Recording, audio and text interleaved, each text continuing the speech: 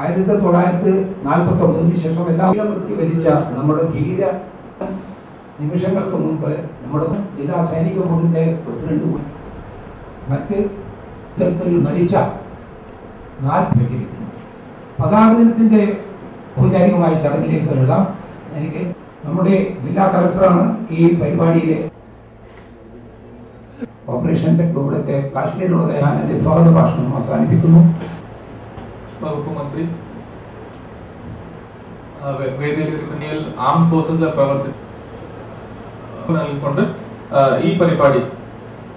എന്ത് സഹിക്കാനും സന്നദ്ധമായിട്ട് ത്യാഗത്തിന്റെ ത്യാഗം എന്ന രണ്ട് അക്ഷരങ്ങൾക്ക് ആ ദ്വയക്ഷരങ്ങൾക്ക് ജീവിത യാഥാർത്ഥ്യത്തിലൂടെ കർമ്മബോധം നൽകിയിട്ടുള്ളവരാണ് നമ്മുടെ സായുധ സേന.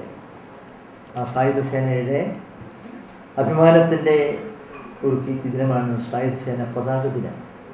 ആ പതാക ദിനത്തെ പ്രാധാന്യം എല്ലാം തന്നെ സ്വാഗത പ്രസംഗത്തിന്റെ ബഹുമാനിനെ സുഹൃത്തുക്കൾ പറഞ്ഞിട്ടുണ്ട്.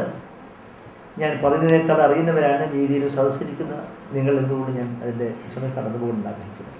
അതുകൊണ്ട് തന്നെ ഈ സായുധ സേന പതാക ദിനം എന്ന് പറയുമ്പോൾ അത് ഈ മഹാരാജ്യത്തിന്റെ അഭിമാനോജ്ജലമായ ധീരദേശാഭിമാനികളുടെ ധീര ജവാന്മാരുടെ ഏറ്റവും പ്രോജ്വലമായ സമർപ്പണത്തെയും ജീവിതത്തെയും സമാദരിക്കുന്ന ഉത്കൃഷ്ടമായ ഒരു ദിനാചരണമാണ് എന്ന് മാത്രമേ ഞാൻ ചൂണ്ടിക്കാണിക്കാൻ ആഗ്രഹിക്കുന്നുള്ളൂ ഇവിടെ പങ്കെടുത്ത നിങ്ങൾക്കെല്ലാം തന്നെ ഞാൻ എന്റെ ആ, അഭിവാദങ്ങൾ Thank നൽകുന്നു.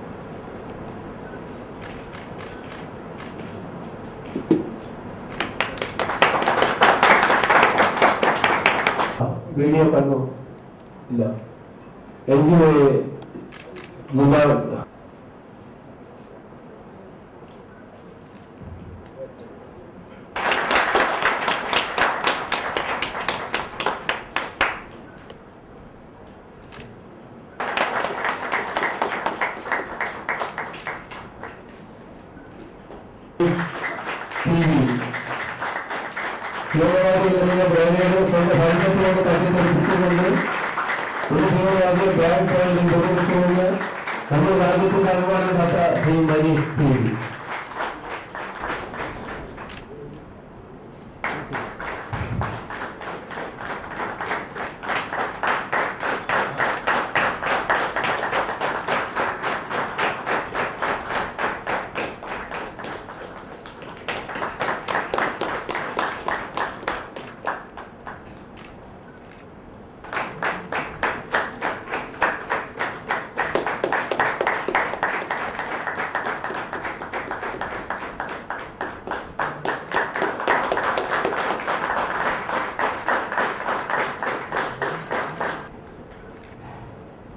பெரியவர் திரு